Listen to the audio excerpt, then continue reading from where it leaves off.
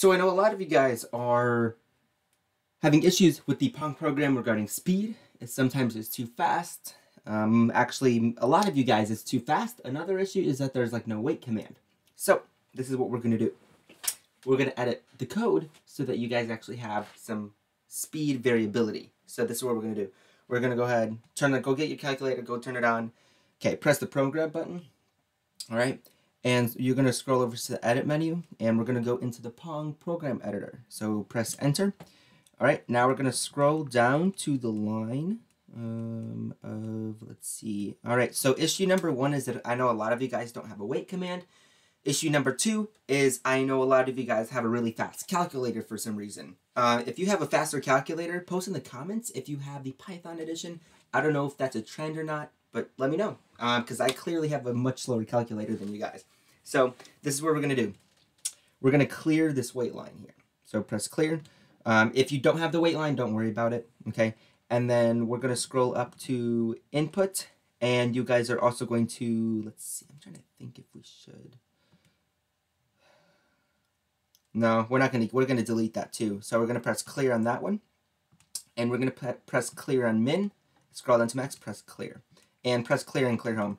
And then scroll up to under clear home, like right there, and you're going to press del a few times to delete the lines.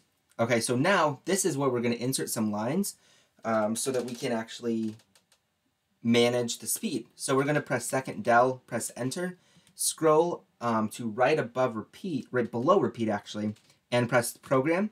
Scroll down to number four, which is four. Okay, this is going to be a for loop. We're going to type a comma 1 comma 50, enter, and then press program, and then scroll down to number seven, which is end. So this is a for loop, and what you're going to do is if the program is still not slow enough after you run it, you're going to make this 50 even larger. So the larger the number, the slower the program. So if I make mine 1000, which is, you know, just crazy.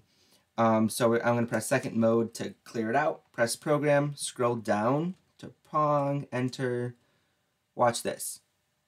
It goes super slow on my calculator. And uh, for you guys, it might be normal speed. I don't know. Let me know.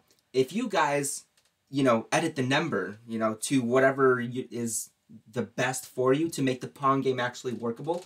Post in the comment what number works, because it'll actually help a lot of other people who watch this video. And I'm curious to see, you know, the to see how much faster your calculator is for some weird reason. So that's pretty much that. Um, also, another thing is post in the comments if you want to see any more future videos about anything really, because I'm starting out the school year starting. We're gonna gonna start posting a lot more videos more frequently took a nice long summer break, so that's kind of nice. But anyway, um, yeah, that's pretty much it. Thanks guys for watching. Um, sub if you haven't. We're getting close to a thousand subs. Um, if you're watching this and we have more than a thousand, then awesome. Just sub anyway. Thanks guys for watching. Have a good day.